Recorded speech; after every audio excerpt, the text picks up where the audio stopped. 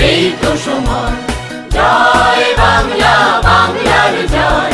জয় বাংলা, বাংলার জয়।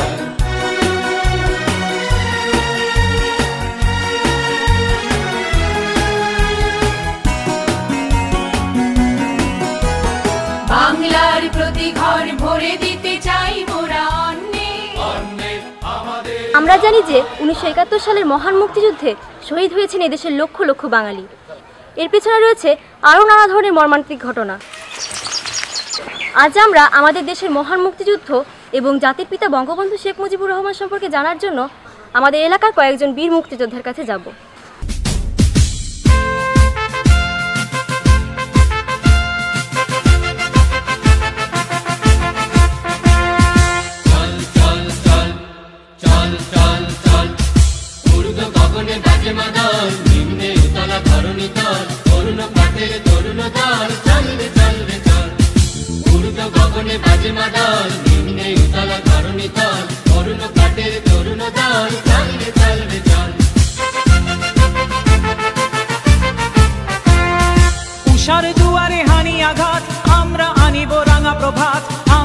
টুটাবো তিমির রাত বিন্দা চল।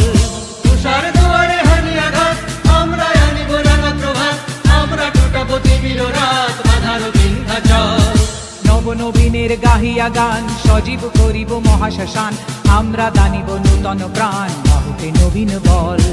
নবনবীনের গাহিয়া গান সজীব করিব মহাশ্মশান আমরা জানিব নূতন প্রাণ বাহুতে নবীন বল।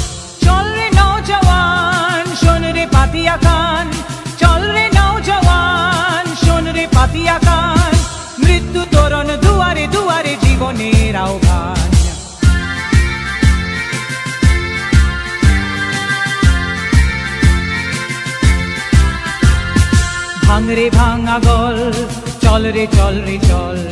ভাঙ রে ভাঙা গল চল রে চল রে চল। চল চল চল চল চল চল। ঊর্ধ্বে আদেশ হানিছে বাজ শহীদীদের সেনারা সাজ। দিকে দিকে চলে কুচকাওয়াজ কোল রে নিদ মহল পূর্বে আদেশ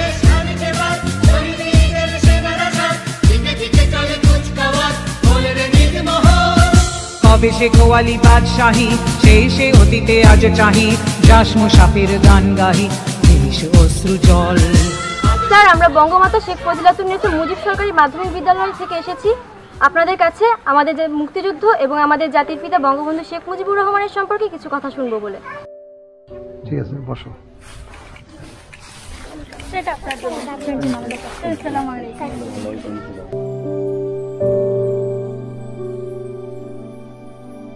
তার মুক্তিযুদ্ধ চলাকালীন সময় আপনার অর্জিত অভিজ্ঞতা সমূহ সম্বন্ধে আমাদের যদি কিছু বলতেন যা থেকে আমরা মুক্তিযুদ্ধের সম্বন্ধে বাস্তব ধারণা পাবো।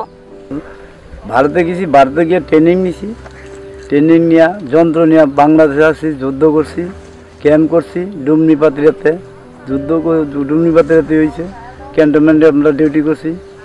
ক্যান্টনমেন্টের কাছে আর কি ডিউটি করছি ক্রিকেট ক্যান্টনমেন্ট কিলকেটে থাকতাম। বেশিরভাগ আর রসুলপুরে তো ট্রেনিং ফ্রেনিং হইতো। স্যার আপনাকে ধন্যবাদ। উনিশশো একাত্তর সালে মুক্তিযুদ্ধ চলাকালীন সময় পাকিস্তানি হানাদার বাহিনীর এদেশীয় শক্তিসমূহ রাজাকার আলবদর আলসান্স বাহিনীর নির্মমতা সম্বন্ধে আপনি যদি আপনার প্রতিক্রিয়াটা ব্যক্ত করতেন তাহলে সে সম্বন্ধে আমরা কিছুটা হলেও ধারণা লাভ করতে পারতাম। আমরা ভারত থেকে ট্রেনিং নিয়ে, অস্ত্র ট্রেনিং নিয়ে বাংলাদেশে এসেছি। আইসি প্রথম আমরা এলাকায় এসে শুনি যে আমাদের এলাকারা এলাকাতে টুঙ্গি থেকে রাজাকার এসা এলাকাতে খালি খোঁজখবর নেয় মুক্তিযোদ্ধাদের। তখন আমরা দলবদ্ধভাবে, গোপনে, গেইলেভাবে এদেরকে চীনা ধরার বোঝার জন্য আজমপুর উত্তর খান দক্ষিণ খান খিলক্ষেত কাউলার এই সমস্ত এলাকায় আমরা তিনজন, চারজন দলে দলে অন্ধকারের মধ্যে রাত্রে, সকালে গোপনে গোপনে তাদের খবর লই এবং পাশাপাশি আমাদের স্থানীয় লোকদেরকে জিজ্ঞাসা করি যে এদিকে কোনো মৌলবীর দল আইসিলনি মুজাহিদি বা রাজাকারের দল?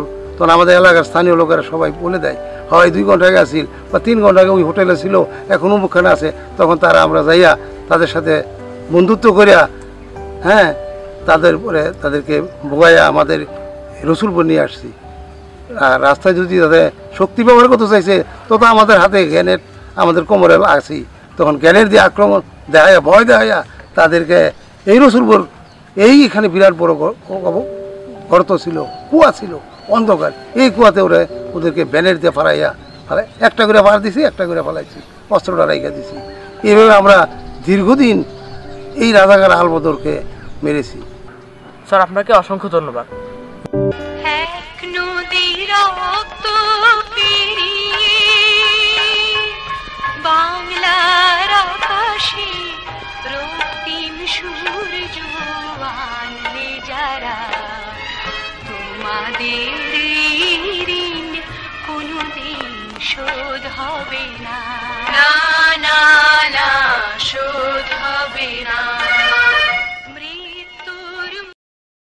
বাঙালি জাতির জনক, স্বাধীন বাংলাদেশের প্রতিষ্ঠাতা, বাঙালি জাতির মহাবিদ্রোহের মহানায়ক, বঙ্গবন্ধু শেখ মুজিবুর রহমান, বাঙালি জাতির হাজার বছরের শ্রেষ্ঠ সন্তান। বাঙালি জাতির জাতীয় ঐক্য গঠনের যে বিরামহীন সংগ্রাম প্রাগৈতিহাসিক যুগ থেকে শুরু হয়েছে, সেই সংগ্রাম বঙ্গবন্ধু শেখ মুজিবুর রহমানের নেতৃত্বে উনিশশো একাত্তর সালের ষোলোই ডিসেম্বর জয়লাভ করে। বঙ্গবন্ধু আর বাংলাদেশ অভিন্ন সূত্রে গাথা। তিনি আজীবন বাংলা ও বাঙালির জন্য সংগ্রাম করেছেন। তিনি কালজয়ী মহাপুরুষ। তার অস্তিত্ব ছিল সূর্যের মতো উজ্জ্বল। জীবনের শেষ দিন পর্যন্ত তিনি চেষ্টা করেছিলেন কীভাবে বাংলার দুঃখী মানুষগুলোর মুখে হাসি ফোটানো যায়। স্বাধীনতা শুধু শব্দ মাত্র নয়, এটি এমন এক অধিকার ও অনুভব যা মানুষের জন্মগত, কিন্তু পাকিস্তানিরা বাঙালিদের স্বাধীনতা হরণ করেছিল। সেই স্বাধীনতা অর্জনের জন্য বঙ্গবন্ধু শেখ মুজিবুর রহমানের নেতৃত্বে উনিশশো একাত্তর সালে আপামর বাঙালি জাতি ঝাঁপিয়ে পড়ে মহান মুক্তিযুদ্ধে। দীর্ঘ নয় মাস ব্যাপী এক রক্তক্ষয়ী যুদ্ধের মাধ্যমে অসীম ত্যাগ তিতিক্ষার বিনিময়ে বাংলার স্বাধীনতাকামী বীর মুক্তিযোদ্ধারা বিজয় পতাকা উড়ে ফিরে আসে দেশ মাতৃকার করে শত্রুকে পরাজিত করে এসেছে বীরের বেশে। এখন আমরা এদেশে এমনই একজন গর্বিত সন্তান, একজন বীর মুক্তিযোদ্ধা জনাব মফিজউদ্দিন আহমেদের নিকট থেকে আমাদের জাতির পিতা বঙ্গবন্ধু শেখ মুজিবুর রহমান ও মুক্তিযুদ্ধের ইতিহাস শুনব, যা আমাদের তরুণ প্রজন্মকে দেশপ্রেমে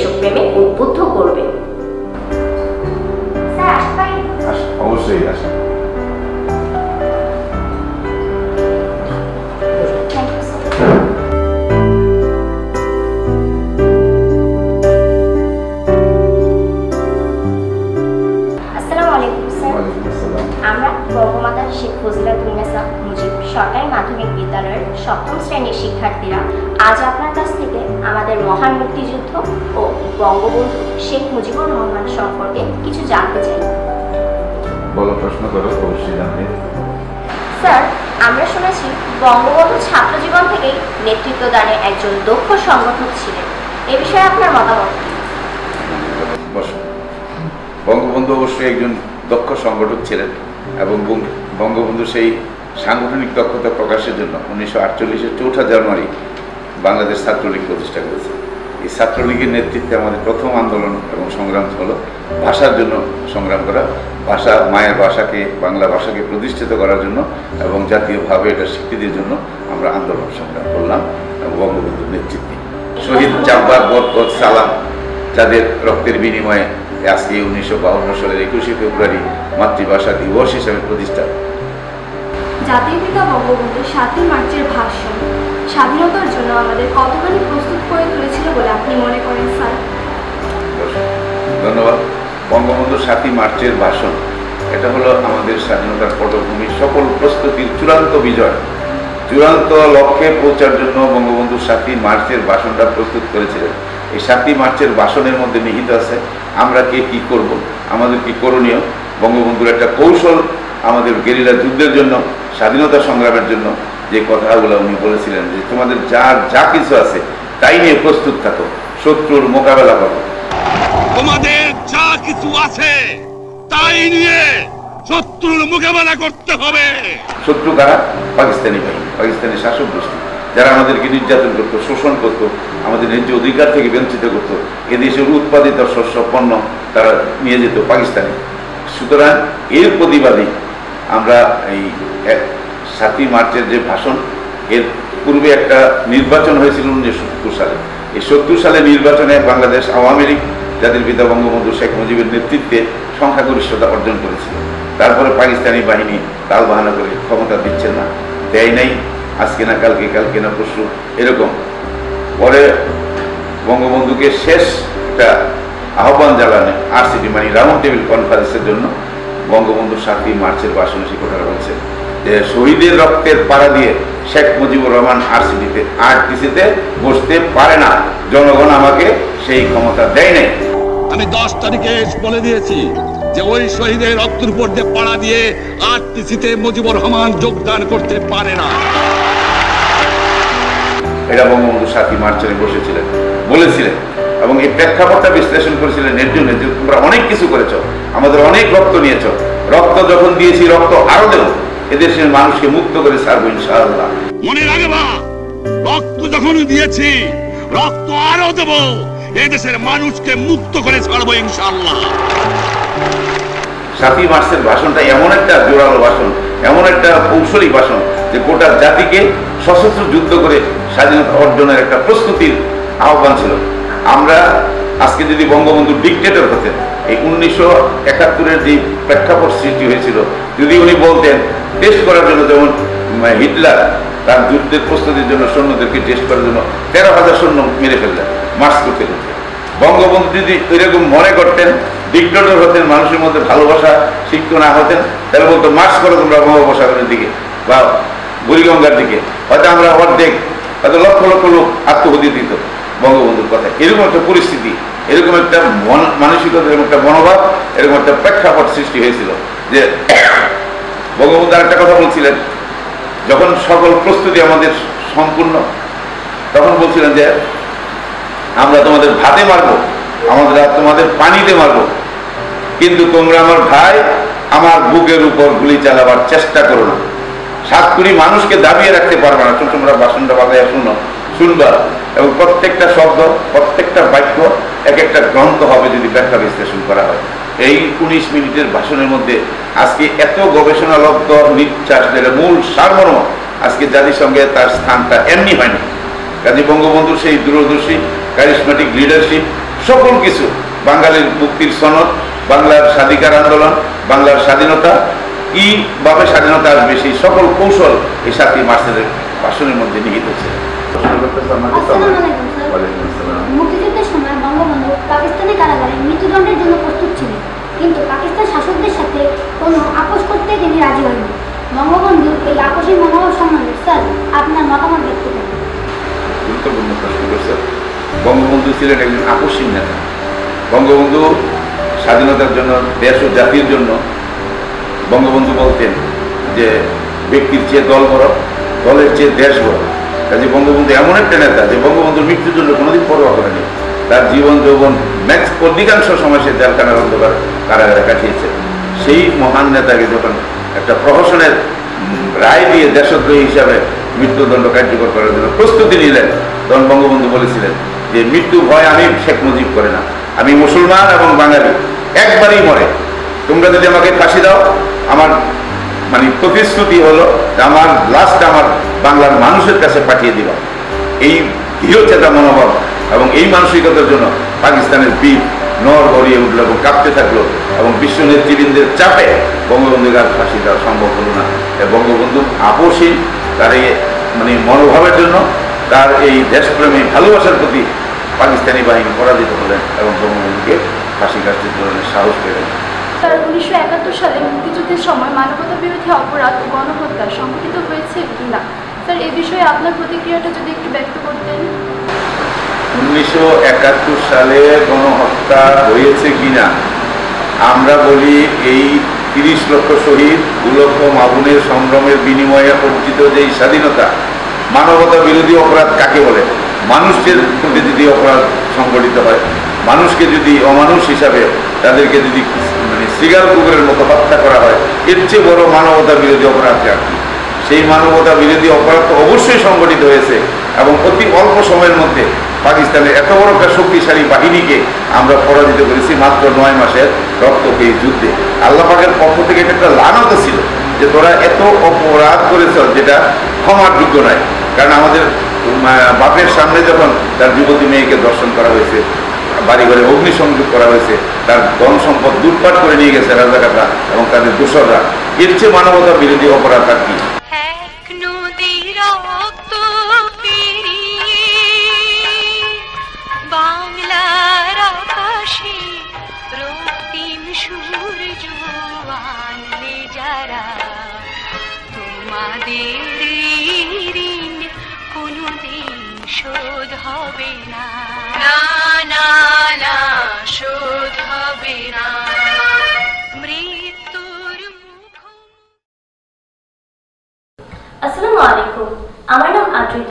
আমরা বঙ্গবন্ধু শেখ ফজিলাতুন নেসা মুজিব সরকারি প্রাথমিক বিদ্যালয়ের সপ্তম শ্রেণির শিক্ষার্থীরা শহীদ মুক্তিযুদ্ধ পরিবারের নিকট থেকে কিছু জানতে এসেছি। আমাদের সাথে রয়েছে শহীদ পরিবারের দুজন সদস্য এবং খিলখিল থানার কমান্ডার।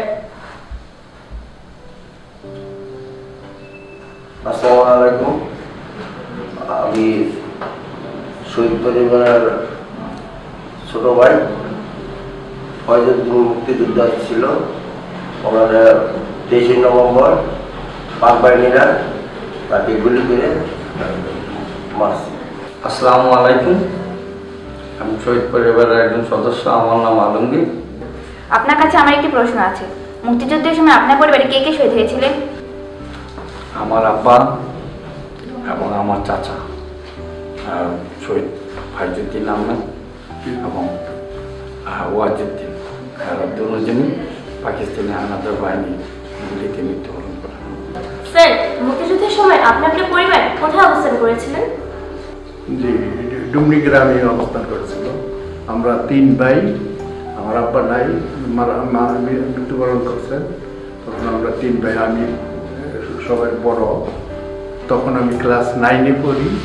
সে সেই অবস্থায় আমি মুক্তিযুদ্ধে অংশগ্রহণ করছি। এবং ভারতে ট্রেনিং করে আবার বাংলাদেশে এসে অনেক জায়গায় অপারেশন করছি, অনেক জায়গায় করছি। আমরা তো গেরিলা গেরিলা আমরা সামনাসামনি ফাইট করার যোদ্ধা না। আমরা মুক্তিযোদ্ধা হলো গেরিলা ওই এদিক থেকে হঠাৎ করে কোথাও অ্যাটাক করায়, ই করা সামনে পড়ে গেলে তার সাথে সামনাসামনি যুদ্ধ করতে হয়েছে, এরকমও হয়েছে। তারপর পরে যেমন আজকে আমরা যে কবরটা জেরাত করলাম, সে তারা গণকবর ওইখানে দুই ভাই এক এক ফ্যামিলি একদিনে গুলি করে মারছে একজন বীর মুক্তিযোদ্ধা ছিলেন, আরেকজন বড় ভাই মুক্তিযুদ্ধ অংশগ্রহণে সকলকে সাহায্য করছে। ওরাও একটা মুক্তিযোদ্ধা পর্যায়ে বইরা যায়, ওরা খাবার, দাবার এই মুক্তিযোদ্ধাদেরকে সাহায্য করছে এগুলো দিয়ে। তারপরে পরে আইসা একবারই তো ওই দুই ভাই মারা যাচ্ছে দুই জায়গায়। ধন্যবাদ। স্যার, আমার আরেকটা প্রশ্ন আছে। আপনার এলাকা বা গ্রামে কোনো বদ্ধভূমি আছে কি? বদ্ধভূমি তেমন নাই তবে ওই যে একদিন দুইজনকে গুলি করে মারা মারছে পশ্চিম আর্মিরা। সেই দুইজনকে ওই এক জায়গায় কবরস্থান ওই তাদেরকে দাপন করা হয়েছে সেটাই আমাদের এই এলাকায় আছে। আপনার পরিবারের সদস্যরা কীভাবে শহীদ হয়েছিলেন তার একটু বর্ণনা যদি আমাদের বলতেন। আমরা তখন আমি মোটামুটিভাবে খুবই ছোট তবে যতটুকু জানতে পারছি আমার দাদার কাছ থেকে বা দাদির কাছ থেকে বা ফ্যামিলিগতভাবে ভোর পাঁচটায় আমাদের পাতিরা এবং ডুমনি গ্রামে ভোর পাঁচটায় পাকিস্তানি হামলাদার বাহিনী প্রবেশ করে। তো ভোর পাঁচটায় আমার আব্বাকে প্রথম পাকিস্তানের গুলি করে তাকে হত্যা করে। তখন আমার চাচা শহীদ ফাইজুদ্দিন আহমেদ বেড়ায় অবস্থান করছিল, যুদ্ধ প্রস্তুতি নিয়েছিল, তো হঠাৎ করে এখানে যে কোনো লোকের মাধ্যমেই সে মেসেজ পায় যে তার বড় ভাই বাড়িতে মৃত্যুবরণ করছে। তখন তখন সে রূপগঞ্জ বিভিন্ন দারবানার বাড়ি ওখানে সে যুদ্ধের জন্য পাকিস্তানিদের সাথে লড়াই করে কিন্তু ওখানে সে প্রস্তুতি নেয়। তখন সে ওখানে মৃত্যুবরণ করে। আমি এতটুকু জানি।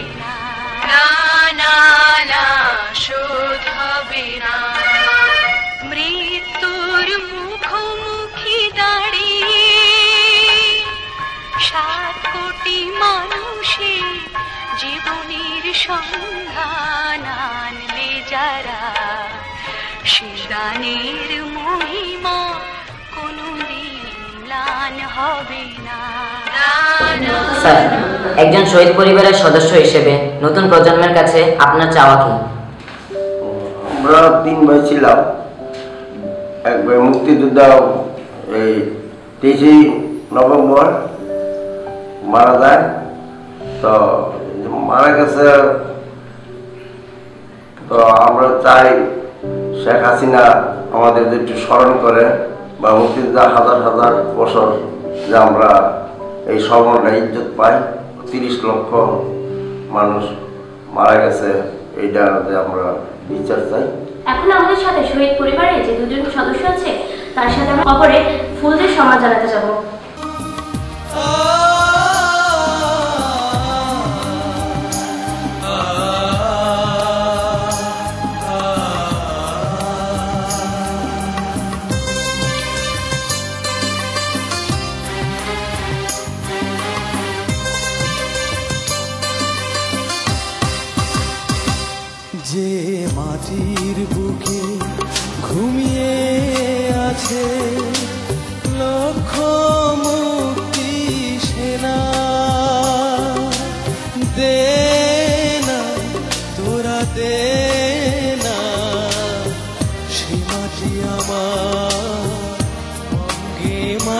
দিয়ে